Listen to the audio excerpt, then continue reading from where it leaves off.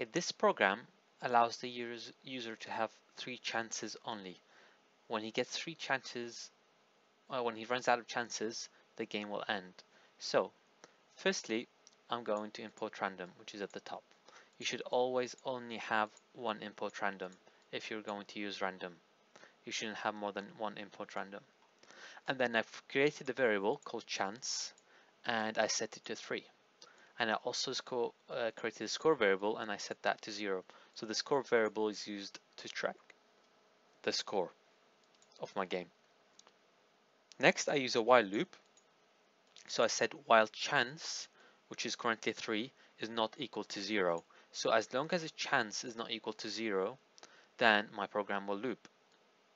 So firstly, we're asked, we're generating a random number between 1 and 5 and then we're asking the user to guess it. So we'll guess guess the number.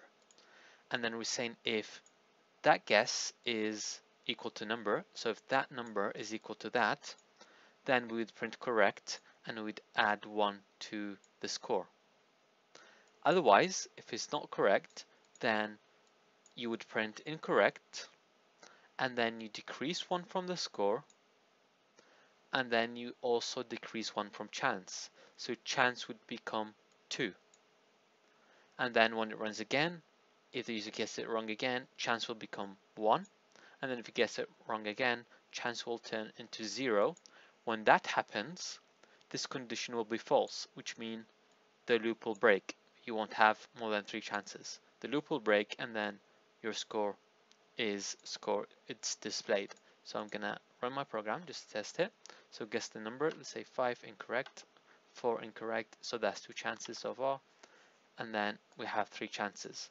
So we got three chances here and the game ended.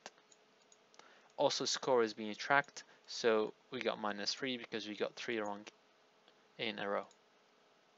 And that's how you track uh, your game chances.